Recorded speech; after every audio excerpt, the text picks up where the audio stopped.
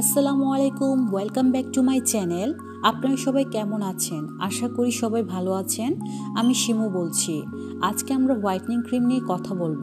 আমাদের এশিয়া কান্ট্রিতে ফর্সা হওয়া সবার একটা স্বপ্ন থাকে। একটা কথা মনে রাখবেন হোয়াইটনিং ক্রিম সারা জীবন লাগাতে পারবেন না। এটার রেজাল্ট আপনারা যতদিন ইউজ করবেন ততদিন এটা রেজাল্ট দিবে। এটা যখন ছেড়ে দিবেন, তখন আপনাদের স্কিন আগের মতো হয়ে যাবে। যদি আপনারা হোয়াইটনিং ক্রিম এনিহাও ইউজ করতে চান, তাহলে হোয়াইটনিং ক্রিমের কিছু সিম্পল নিয়মাবলী আছে।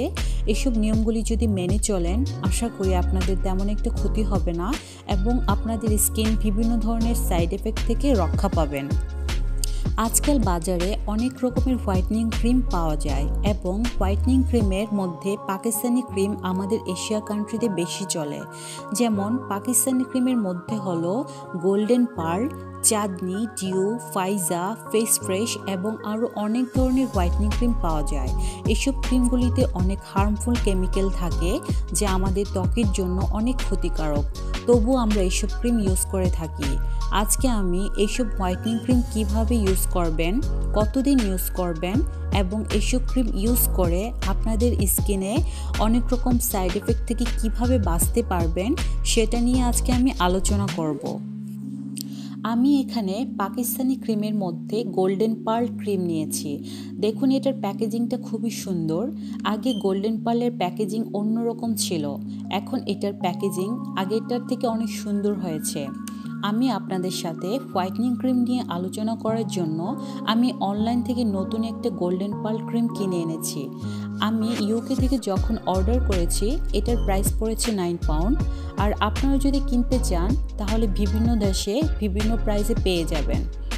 আর যখনই কিনবেন, আপনাদের পরিচিত দোকান থেকে কিনে নেবেন যেন অরিজিনাল পাকিস্তানি ক্রিম হয়।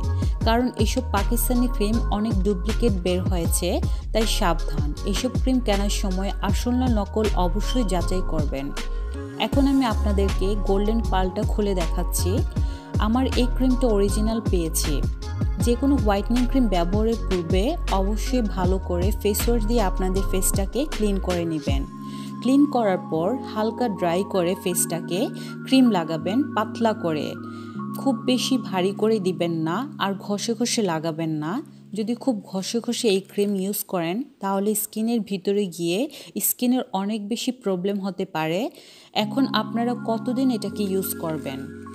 এই ক্রিম প্রথম এক মাস টানা ইউজ করবেন, তারপর থেকে সপ্তাহে চার দিন ইউজ করবেন, তারপর মাস থেকে সপ্তাহে দুই দিন ইউজ করবেন।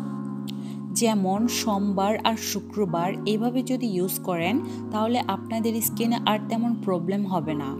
আর যারা অনেক বছর ধরে ইউজ করছেন, তাদের বলছি, আপনারা একটানা ইউজ করবেন না। আর যদি একটানা ইউজ করে থাকেন, তাহলে আপনাদের স্কিন ক্যান্সার হতে পারে। আর আপনারা এই ক্রিমটাকে হঠাৎ করে ছেড়ে দিবেন না। আপনারা প্রথম সপ্তাহে, প্রথম মাস থেকে সপ্তাহে চার দিন, পরের মাস পরের মাস সপ্তাহে দুই দিন, এইভাবে করে দেওয়ার প্রসেস চালিয়ে যাবেন। তাহলে স্কিনে তেমন একটা প্রবলেম হবে না। আর যাদের এইসব ক্রিম দেওয়ার পরে খুব বেশি স্কিন প্রবলেম হয়েছে, তারা অবশ্যই ডাক্তারকে দেখানো উচিত। ডাক্তারের সাজেশন নিয়ে চলে, অবশ্যই আপনাদের যাদের স্কিন ড্যামেজ হয়ে গিয়েছে, তারা অবশ্যই একটা সলিউশন পাবেন। আর হচ্ছে হোয়াইটনিং ক্রিমের ইউজ করলেই হবে না। পাশাপাশি ভালো মানের ময়শ্চারাইজার ইউজ করতে হবে। যদি রোদে বের হন, ভালো মানের সানস্ক্রিন ইউজ করবেন। সপ্তাহে বা মাসে ভালো মানের একটি ফেসিয়াল করে নেবেন। আর পাশাপাশি প্রচুর পরিমাণে পানি খাবেন। একটি মানুষের প্রতিদিন বারো গ্লাস পানি খাওয়া উচিত। পানি মানুষের শরীরে ফিফটি পার্সেন্ট রোগ সারিয়ে তোলে। এবং প্রতিদিন এক্সারসাইজ করতে হবে।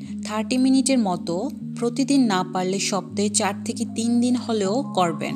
বিভিন্ন ধরনের এক্সারসাইজ আছে, চাইলে জিমেও যেতে পারেন, না হয় বাসায় ফ্রি হ্যান্ডের এক্সারসাইজ করতে পারেন ইয়োগা করতে পারেন।